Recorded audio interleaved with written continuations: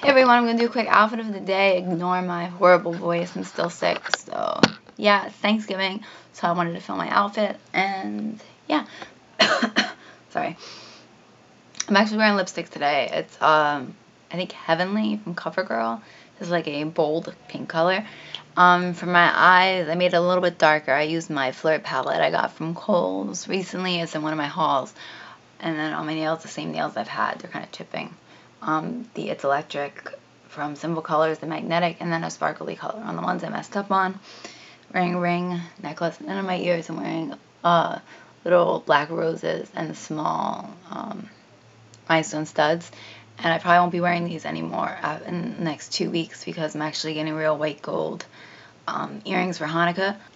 For shoes, I'm wearing my Simply Vera um, wedges, wedge booties that I got recently in the grayish taupey color.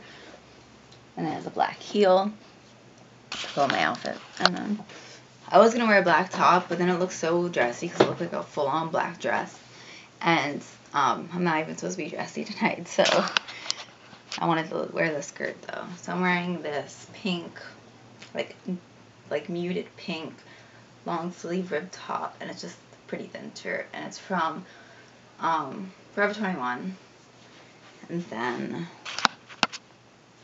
um, actually I'm wearing everything from Forever 21 today except my shoes, which are from Kohl's. Yeah, this um, peplum skirt's also from Forever 21. This is actually two years old, the shirt. This I got recently. It's in one of my hauls. It's got a leatherette trim, and it's peplum style. And I like that it's longer than most of the peplum skirts that I've seen. And then I'm wearing these tights from Forever 21 like two years ago. Um, and they're the thickest tights I have, so it's going to be cold. And, um, well, cold for me. It's going to be like, I think 58 tonight, which is pretty cold. I'm probably going to have to wear a jacket because this isn't going to keep me warm. But yeah, that's it. Thank you guys for watching and have a happy Thanksgiving.